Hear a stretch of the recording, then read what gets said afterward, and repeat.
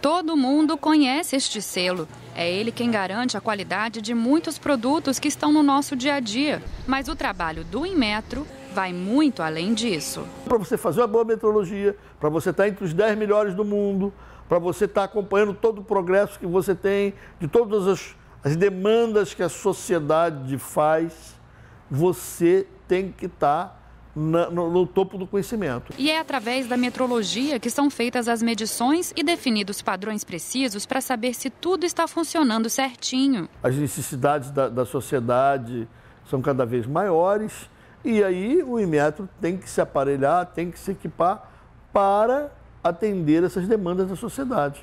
O Inmetro tem 46 laboratórios funcionando neste campus, no Rio de Janeiro. São mais de 2 milhões de metros quadrados, no maior complexo laboratorial de metrologia da América Latina.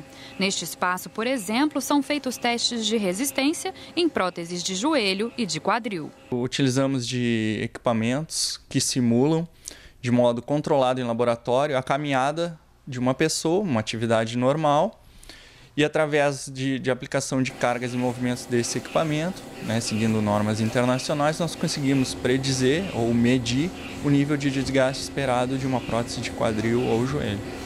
Na hora de comprar um produto, algumas informações têm que ficar claras. No caso da lâmpada, o consumidor precisa saber o quanto ela ilumina. E o Inmetro ajuda nessas horas. Aqui é o lugar onde o Inmetro testa lâmpadas e luminárias. Este aparelho, por exemplo, mede a intensidade da luz e para onde ela vai. É para cá que a Indústria Nacional de Iluminação manda o material para saber se o produto está dentro dos padrões.